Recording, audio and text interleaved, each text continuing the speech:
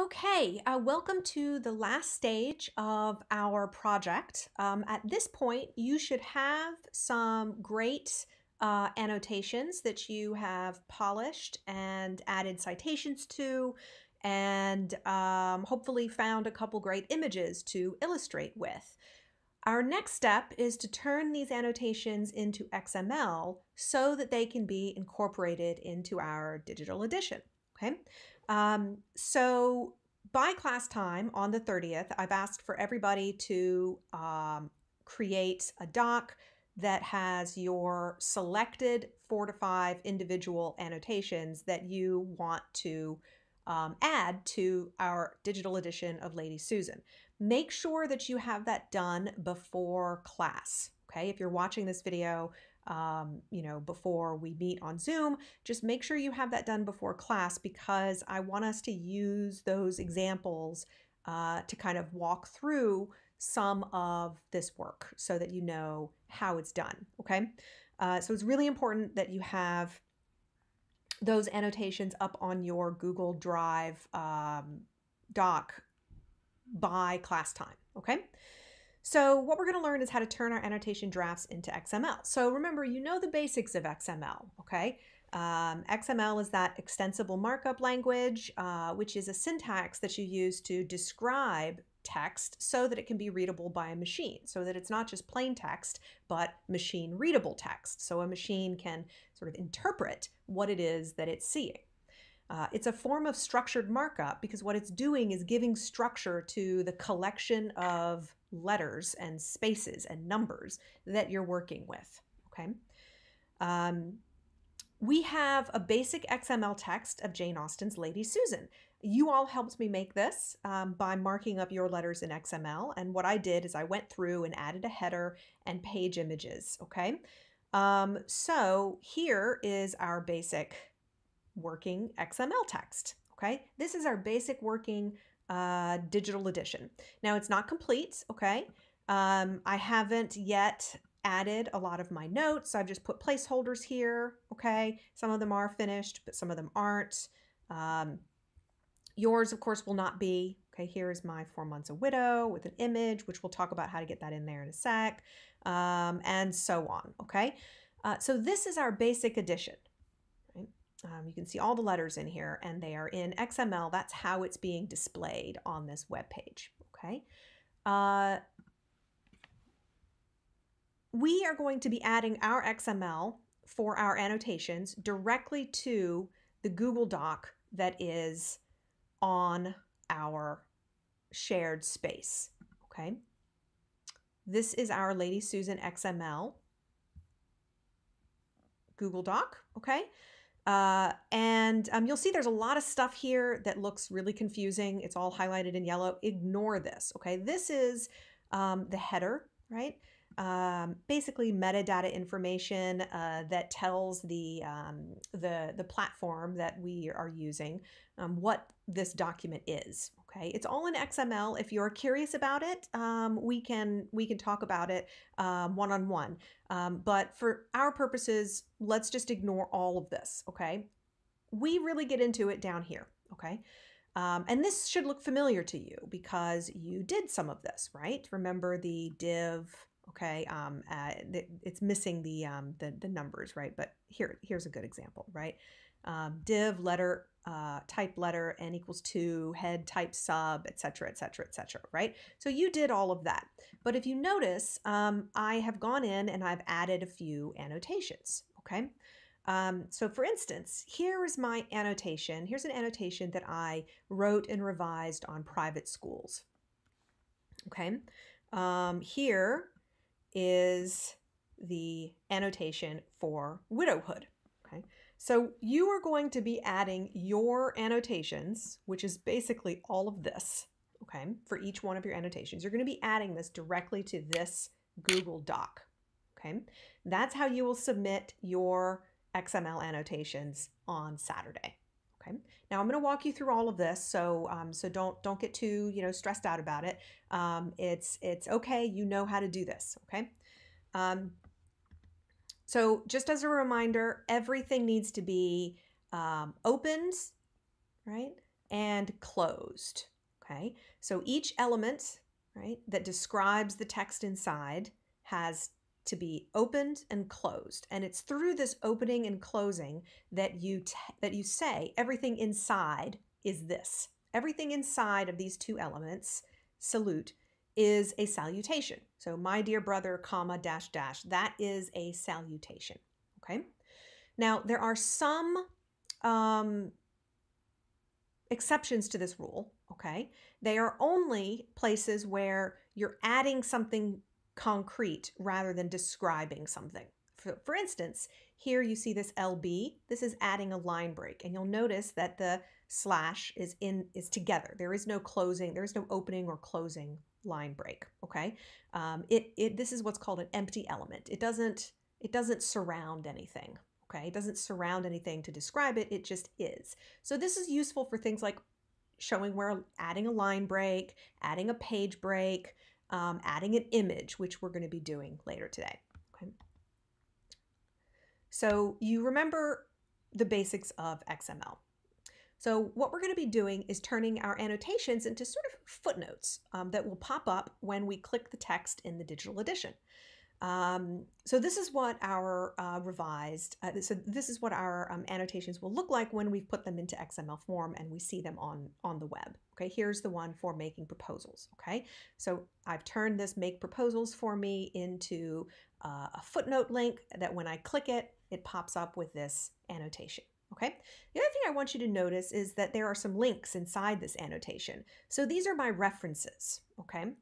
And you'll also notice that there is uh, the, there are these initials, my initials, TH, um, in brackets after this. This is how I um, indicate that I have authored this annotation. So you're going to be doing the same thing, and I'll show you how that how that works. Okay.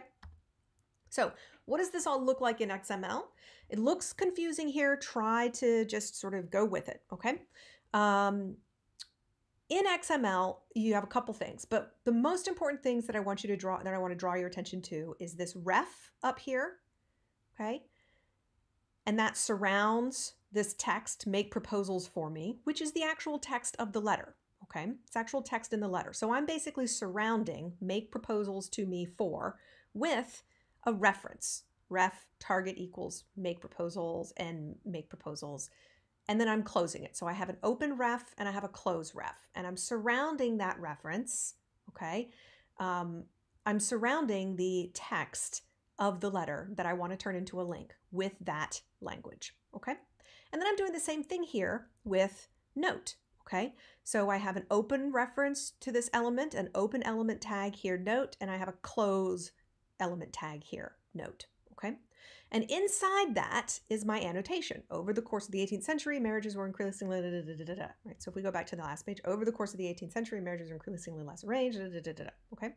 So everything that's inside the note is your note, and everything that is inside the ref is the, the text in the letter that you're going to turn into a link. This is why when you were taking your notes, I asked you to um, actually pull out the word or phrase you wanted to annotate.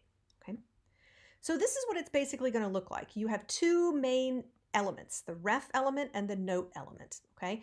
Color does not matter, makes not one whit of difference, okay? The only reason it's in colors is because when I copied and pasted it from my um, um, um, authoring application. It, it does this automatically. So um, you don't need to, you can just ignore that. Color makes no difference here. Size of text makes no difference here. If I, if something is italicized, the computer can't tell the difference, okay?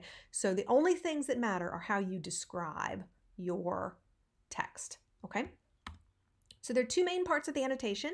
The ref element that surrounds the actual text in Lady Susan that you want to annotate.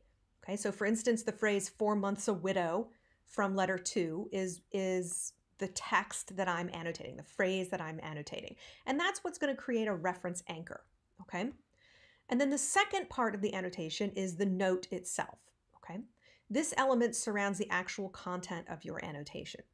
Now, each of these elements has, remember, what are called attributes. Okay, so remember when you did the highlighting, okay? Um, HI was the element, but rend, R-E-N-D, equals italic, right, in quotes, that was an attribute, okay? Um, so each of these elements will have attributes that work to kind of connect them to each other. So it will pair the ref with the note and the note with the ref. Okay. Um, it will also do other things like attribute authorship and so on. Um, the last thing that you're going to be doing, this is not a main part, but a subpart, is encoding your links um, in your annotation so that the machine can then transform them into live clickable hyperlinks. Okay. So let's take a closer look. Um, this is the first part, the ref part. Okay. So what you're going to be doing is surrounding the actual text of the letter. Okay. Four months a widow. Okay. Um, rattle or whatever you have chosen to annotate with the ref tag, open ref, close ref. Okay. This is what will turn it into a live link. Okay, when we click on four months a widow, your annotation will pop up, providing everything is valid. Okay.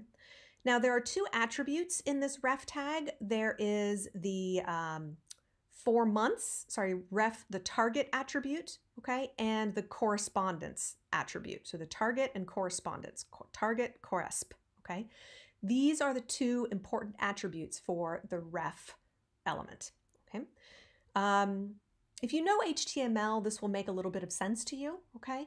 Um, but basically, we are setting up a kind of um, an anchor, right? Uh, an anchoring system so that um, I can, so, so that the computer can connect the, the note with the reference, okay? Um, so I've created these two sort of little phrases, A, four months, N, four months, okay? Now, these are unique identifiers, okay? Um, these are unique identifiers that need to function in this way in order to in order for the platform to work effectively. Okay, so you should create a unique identifier for your target and correspondence attributes. Okay, um, I have chosen four months. Okay, but you can choose anything you want. It should be something that makes sense for your annotation. Okay, I could have easily chosen widow. Okay, but I chose four months for just to remind myself that this is the phrase. Okay. Um, your unique identifiers need to be connected to the attributes target and correspondence in particular ways. Okay. So target needs to be connected to the A four months. Okay. And the correspondent uh, attribute needs to be connected to the N four months where the X's here are whatever word will remind you of your annotation. Okay, so I've chosen four months. You could have chosen widow, anything that you want. It just needs to make sense. Note that there are no spaces between the letters here, okay? And the A and the N need to be in front, okay? And the target needs to be the A and the corresp needs to be the N. This is because otherwise the linking won't work, okay? So um, that's the first part, okay? Um, now, let's take a look at the second part. This is the note um, element. This is going to look a little bit more complicated, but it's basically exactly the same as we saw before. So you're going to surround your actual annotation okay, with the note tag, being sure to close it at the end. So here's the opening note tag and here's the closing note tag. Now you want to notice that there are four attributes in that note tag. So the opening note tag has an XML attribute, XML ID attribute, a target attribute, and then it's got a type and a resp attribute, okay? You should also notice that N4 months and A4 months, okay, um, is consistent with what we put in the ref element, all right? This is how the linking is, is working. It connects the note to the target, okay? Um, so uh, the XML ID and the target. Now note that there is no corresp attribute here. Instead, there's this a different attribute called XML ID. Okay, we'll see this XML ID a little bit later. Um, it doesn't really matter too much what it is, but it's just an identification um, attribute. Okay, the important thing to remember is that when you're creating your note, okay, you don't put a, an at correspondence or you don't put a, a correspondence attribute. Instead, you put an XML attribute. Okay, and that is what the N four months is. The target attribute stays A four months. Okay, so uh, if, if you were writing one for um, coquette, okay, you might have um, ref target A coquette, corresp N coquette, and then the words here would be uh, absolute coquette, okay? And then your note would have the XML ID being N coquette and the target A coquette, okay? Um, so the important thing is that these A's and N's stay in the way that they are um, organized here. Um, now, the other two components of this note are type and resp, okay? Type is a descriptor, it's an attribute that's describing the kind of note we're making. Now, you're going to have two types, okay? There are going to be two types only of notes. It will either be something called a gloss or it will be an editorial note. So if you are writing an OED um, note, like a definition note using just the OED, then that is what's called a gloss. So instead of editorial here, I would write gloss, okay? Any longer contextual notes would be typed as editorial, okay? So that's what I've done here. Type equals editorial. This is a longer contextual note, okay? Um, now, what we can do with this later is we can say, I only want to see notes that are glosses. I, only, I don't want to I don't want to hear anything about historical context when I'm reading this this digital edition. I only want to see uh, notes that are defining unfamiliar terms for me. Okay, I could hypothetically set that up because I've defined it in this way. Okay. Now, the last thing here is the resp. Now, this is this attribute um, assigns responsibility. Okay, so who's responsible for writing this note? Okay, you are going to have a unique identifier for yourself. Okay, so I want you to think of one. Mine is TH. It should be um, initials in capital letters of your first, middle, last name. So mine is TH or TMLH. Okay, um, you want to be consistent. Okay, make one up, choose it, okay, and use it. So for every note that you make, you need to have a resp attribute to give you response to say, look, I was responsible for this. I made this note. Okay. So add resp equals and then editors.xml hashtag your unique identifier. And what this will do is link us back to the editors.xml page, which I'll talk about in a sec. Okay. And it, it's where we define all of the people who have something to do with this project. Uh, this is what allows you to get credit for this at this um, editorial work that you're doing uh, on the web and in the project. Okay. Um, so those are the main components of the note. Okay. So just remember that uh, the XML ID in the note is the N and the target attribute in the note is the A, just like the target attribute in the ref is A, but there's no correspondence here. Okay. You basically just want to imitate this form that I've set up here. So let's go and take a stab at it.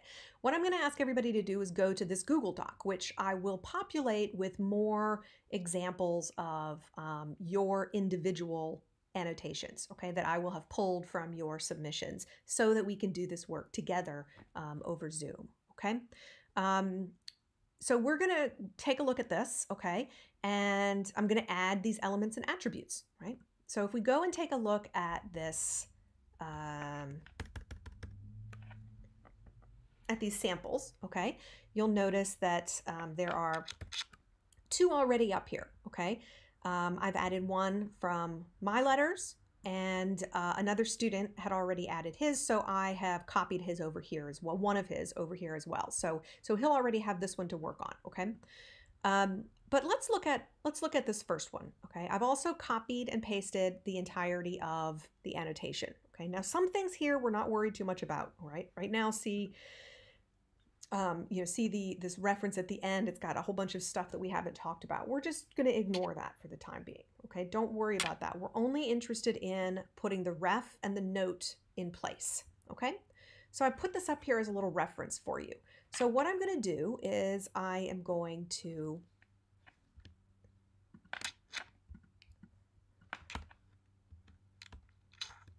go ref into society. Remember, that's the phrase, okay, that is actually in the text that we're annotating. And I'm going to close that ref. Okay, and then I'm going to add my note, the open tag for the note, and then down here, the close tag for the note. Okay, so far so good. Pretty simple, pretty straightforward. Uh, now what I need to do is go in and add the attributes, target and correspondence for the ref. Okay, so I'm going to say target equals a, and this is into society, so I'm just going to be simple and say into society. Okay, I could simply say society, that's fine too. Um, it doesn't matter as long as you're consistent, okay? Um, and then I'm going to add the CORRESP attribute. And remember, that's N into society. Okay, that's it. That's all you need to do for the ref. Okay, now I need to go over here to the note and I need to imitate this stuff. Okay, so I'm going to go into the note and I'm going to say XML ID equals N into society. You have to make sure that the capitalization is correct, okay? No spaces, make sure the caps are imitated fully, okay? Um, you should have no uh, idiosyncratic spellings, okay, here.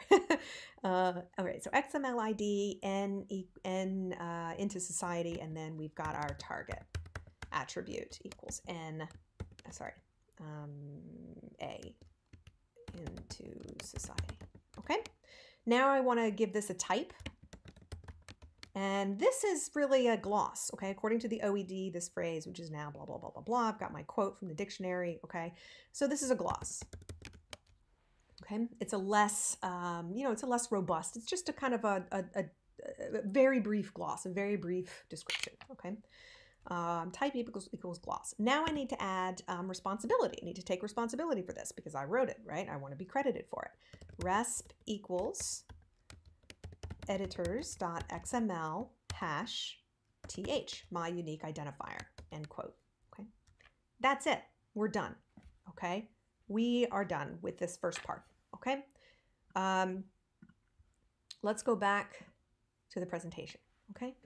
Okay, so the next step in this process is um, adding links to our research. So remember that all of your annotations need a reference whether it's the OED, a JSTOR article, a Google book, or some other website that you found, some other reliable website that you found. So we need to link back to that source, okay? Um, so that readers can, uh, you know, can verify and can and can read more about um, this topic if they so choose. So to create a link in XML, you use the ref element again with the target attribute that points to the URL for your source. Okay. So you can see what I've done down here. Uh, I have ref target equals and then the URL for my source uh, in quotation marks. And then I have that um, citation, Klassen, comma, widows and widowhood, okay? Uh, and then the close ref tag, okay? So what I've done is I've surrounded my attribution, the Klassen, comma, widows and widowers information, that text, that bit of text is my attribution. Um, I've surrounded my attribution with that ref tag, right, with the ref element, ref target equals, and then close ref, okay?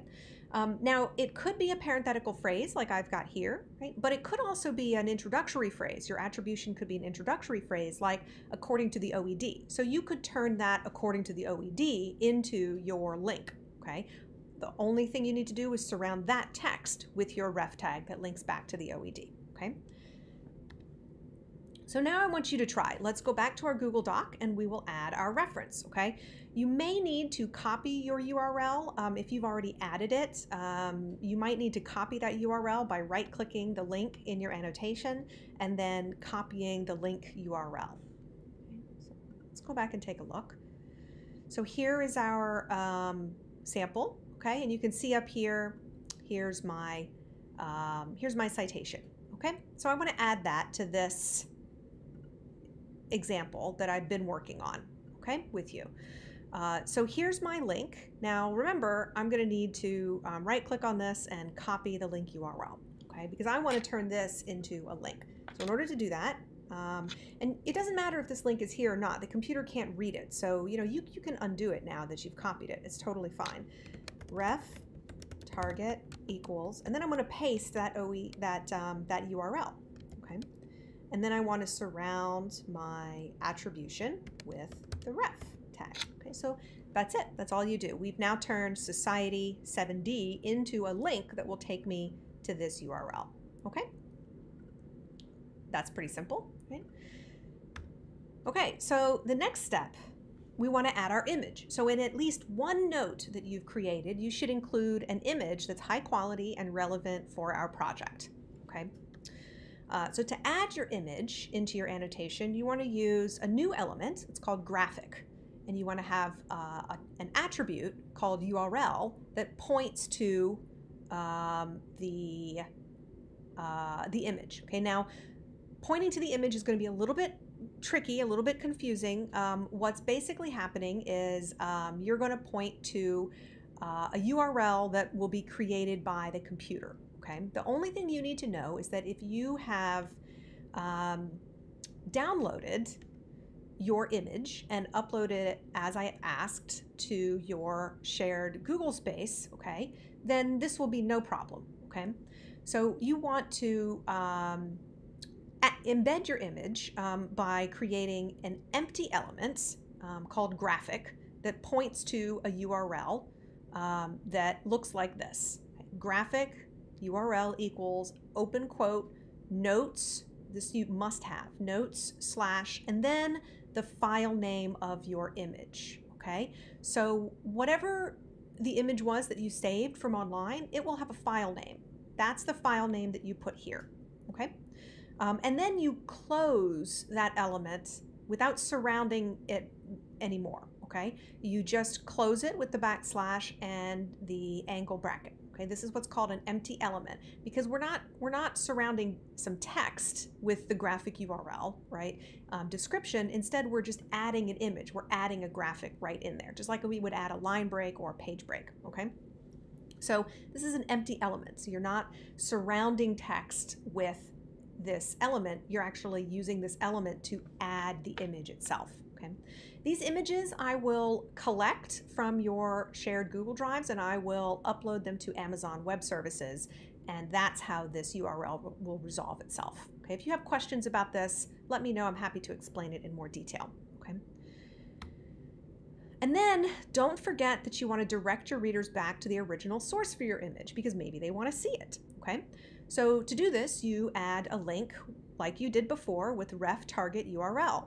Um, add that around your attribution phrase or parenthetical. Okay, so in the case here, what I've done is I've written out that sentence. Okay, the image included here, a 1791 fashion plate from the Museum of Fine Arts, Boston, shows aristocratic morning wear in a French context, which would likely have been attractive to a character like Lady Susan. Okay.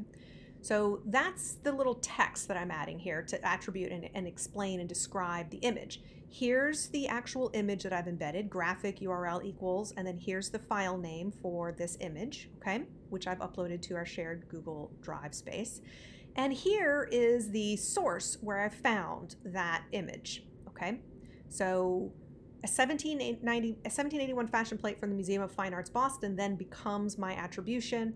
I am surrounding that text with this element, ref, ref, okay? As you can see here. Okay, so that what that will do is turn this text, a 1781 fashion plate from the Museum of Fine Arts Boston, into a link that will take me to this website, okay? It'll take me right back here to this website, okay? All right, so now I want you to try. Let's go back to the Google Doc and we'll add our image, okay? I'll show you how that's done. Now, in this case, I don't have an image for this note, okay? But if I wanted to add an image in my annotation, it would look like this, okay?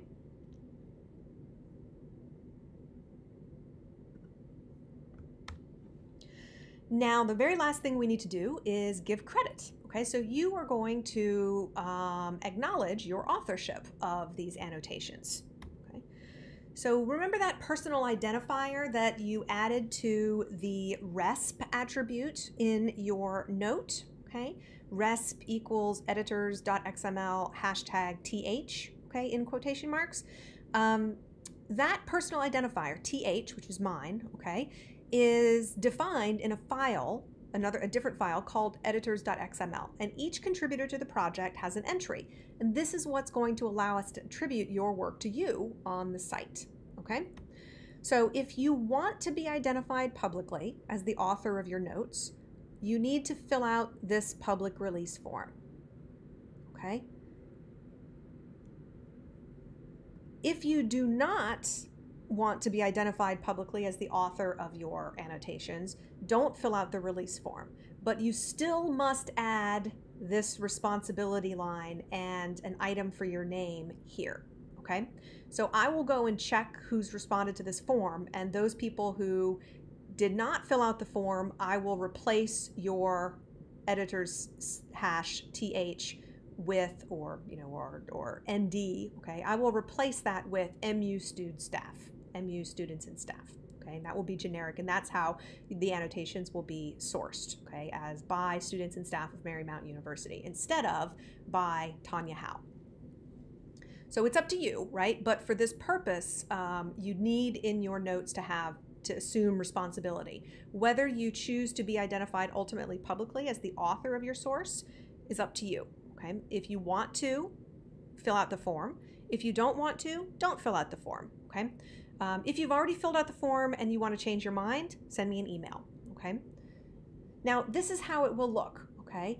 In the editors.xml file, every person who's involved in the construction of this digital edition will have a person attribute, sorry, a person element in this editors.xml file, okay? Here is the generic one for MU Stud staff okay? And we have a forename and a surname students and staff, Marymount University. And here is an example of what it would look like for an individual. Person XML ID equals AR for Amy Ritterhoff, okay? Forename and surname. And I've put affiliation down here as well. So make sure that the only thing you need to do is copy person to person. Copy one of these elements, complete elements that includes all of the nested elements as well, and paste it underneath a closed tag. So you're just going to add a new person item for yourself. Okay. So to, um, to show you what this looks like, um, let's go and take a look at the editors page. Okay, so here is the editors.xml page, which is in our shared Google Drive. Okay, so all you're going to be doing, okay, is copying one of these, pasting it, and then changing this so it's so it matches you.